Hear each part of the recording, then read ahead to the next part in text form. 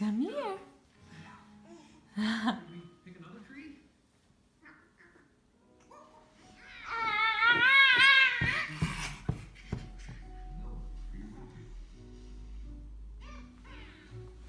Come here. Holden. Hold him. tree comes with a wreath. Come here.